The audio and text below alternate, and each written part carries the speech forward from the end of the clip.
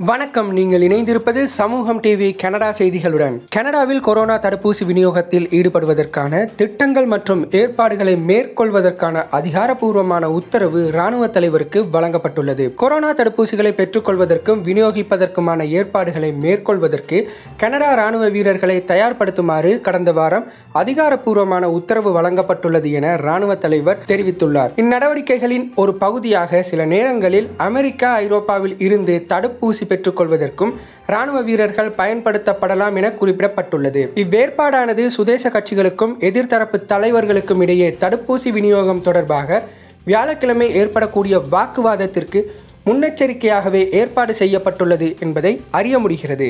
ராணுவ வீரர்களின் உதவியுடன் தடுப்பூசி விநியோகிக்கும் திட்டமானது ஆபரேஷன் விக்டர் என பெயரிட்டுள்ளமை குறிப்பிடத்தக்கது.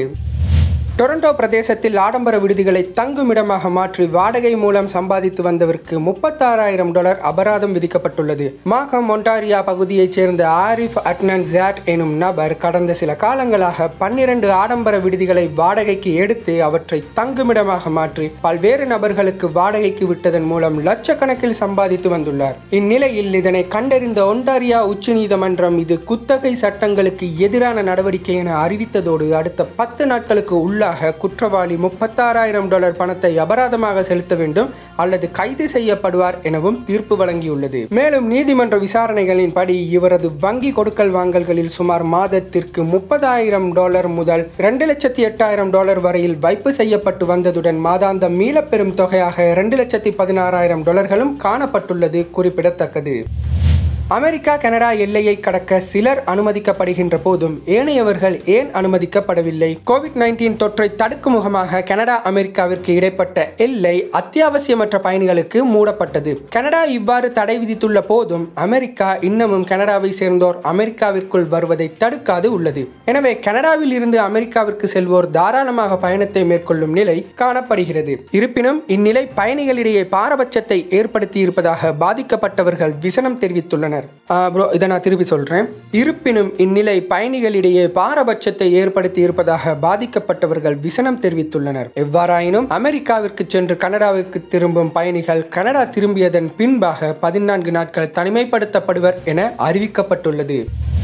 மீன்பிடி போட்டிகளில் பிடிப்பட்ட நூற்றுக்கணக்கான மீன்களை முறையற்ற விதத்தில் குப்பை தொட்டிகளிலும் பல இடங்களிலும் வீசியதைத் தொடர்ந்து ஒன்டாரியாவில் மீன்பிடி போட்டி நடத்துபவர் அபராதம் விதிக்கப்பட்டுள்ளார். ஒன்டாரியாவில் வழக்கமாக மீன்பிடி போட்டிகளை நடத்தி வரும் நபர் ஒருவர் இறுதியாக நடைபெற்ற போட்டிகளிலே இறந்த ஏறத்தாழ இருநூறு மீன்களை குப்பை தொட்டியில் வீசியுள்ளார். ஒன்டாரியாவில் காணப்படும் மீன்பிடி போட்டிகளுக்கான கட்டுப்பாடுகளின்படி போட்டியிலே பிடிபடுகின்ற மீன்களில் ஐந்து வீதமானவைக்கு மேலே இறக்க நேரிடும் போது சாரி ஒன்டாரியாவில் காணப்படும் மீன் மீன்பிடி போட்டிகளுக்கான கட்டுப்பாடுகளின்படி போட்டியிலே பிடிக்க திருப்பி சொல்கிறேன் ப்ரோ ஒன்டாரியாவில் காணப்படும் மீன்பிடி போட்டிகளுக்கான கட்டுப்பாடுகளின்படி போட்டியிலே பிடிக்கப்படுகின்ற மீன்களில் ஐந்து வீதமானவைக்கு மேலே இறக்க நேரிடும் போது உடனடியாக அரசாங்கத்திற்கு அறிவிக்கப்பட வேண்டும் என்பது இருக்க இவர் அவ்வாறான அறிவித்தலை மேற்கொள்ளாததுடன் இறந்த மீன்களை முறையற்ற முறையற்ற சாரி திருப்பி சொல்றேன். இறந்த மீன்களை முறையற்ற விதத்தில் குப்பை தொட்டியில் வீசியுள்ளார். இச்செயலால் இவரது மீன்பிடி போட்டிகள் நடத்துவதற்கான அனுமதி பத்திரம் பறிமுதல் செய்யப்பட்டதோடு தொள்ளாயிரம் டாலர்கள் அபராதமும் விதிக்கப்பட்டுள்ளது. இம்மீன்கள் இறந்த இருந்ததற்கான காரணமாக அவை சரியான முறையில் கையாளப்படவில்லை என்பது பரிசோதனை செய்தோரால் குறிப்பிடப்பட்டுள்ளது.